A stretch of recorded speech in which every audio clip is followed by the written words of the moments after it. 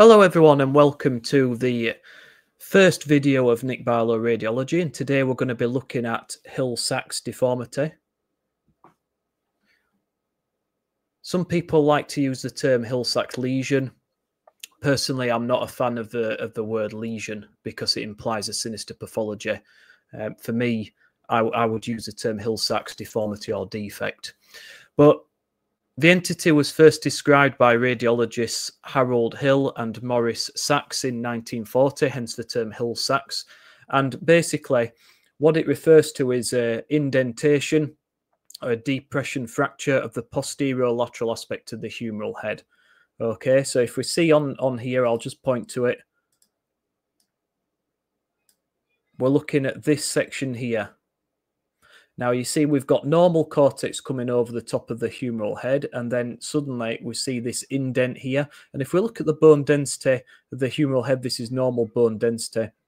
We've got a bit of sclerosis there where the bone's impacted on itself. These occur as a result of anterior dislocation of the humeral head. And what happens is when the humeral head dislocates, this section of the head bangs into this inferior part of the glenoid. This is the glenoid here, and it bangs on this inferior part, causing this to bang into it, depress, and that creates a Hill-Sachs deformity. Now, often with these, you get something called a Bankart lesion associated with them. In fact, you're 11 times more likely to get a Bankart lesion with Hill-Sachs deformities. And a Bankart lesion, it's the same principle. When the humeral head bangs onto this inferior part of the glenoid, it causes an avulsion fracture of that part of the glenoid. So it's always worth looking. If you see this appearance here, this Hill-Sachs deformity, have a look at the glenoid, have a look at the cortex, make sure it's nice and smooth. There's no interruptions, there's no bone fragments there, because that could be a Bankart lesion. There is uh, something else to look out for in this X-ray. Sometimes there can be other fractures associated with it, so I'll give you a minute just to just to think about that, just to see if you can find it on the X-ray. We've also got secondary pathologies here. So we've got some moderate degeneration of the AC joint.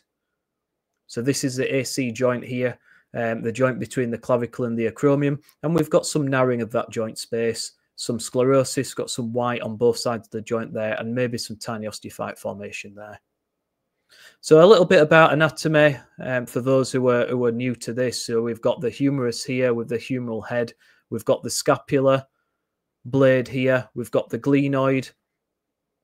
AC joint, as I've said, you've got the acromion here, which is this structure. Coracoid process, which is this little bit coming up here, and you've got the clavicle here. You've got ribs coming down here, and you've got the right lung there.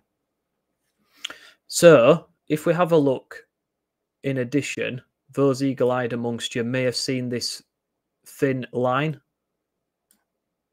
traversing down the acromion, going into the scapula. So this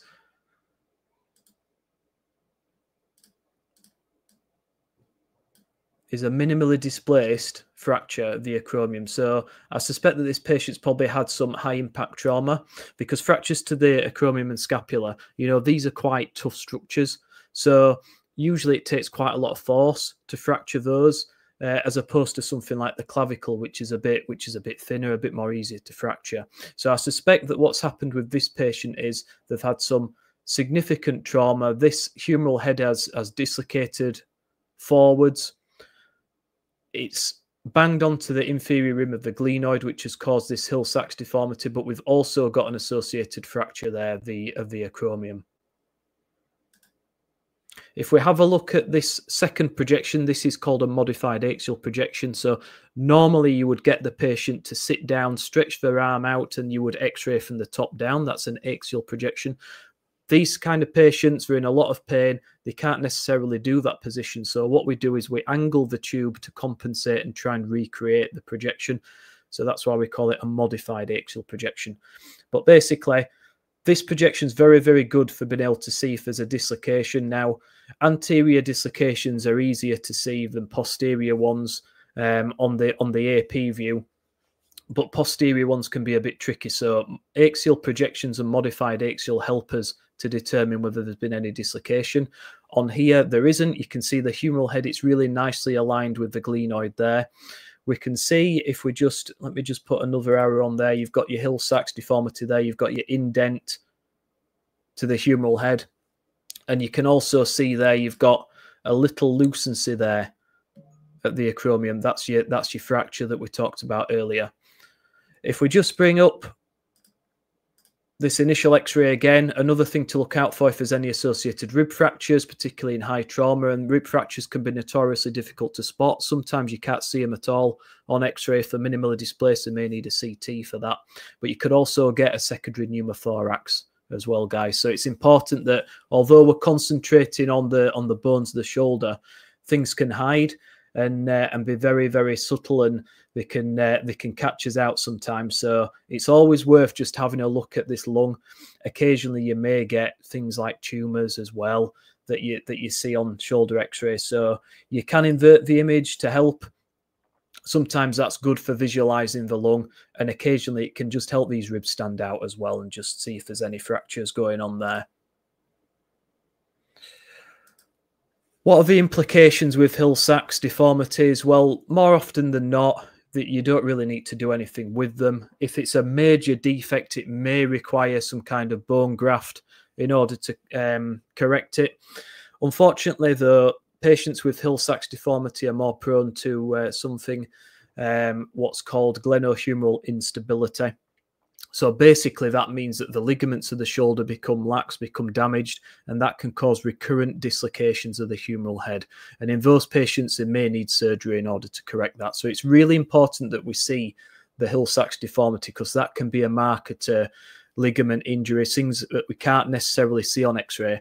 Sometimes the patients may go on to have MRI, ultrasound imaging, but the Hill-Sachs deformity is a really good marker for it, guys. So hopefully now you'll be able to recognize the X-ray appearances of the Hill-Sachs deformity. Just for your own professional development, I always like to talk about it in terms of the what, when, why, and what next. So what have we learned? Well, we've we've learned what a Hill-Sachs deformity is. It's a depression fracture of the posterior lateral aspect of the humeral head.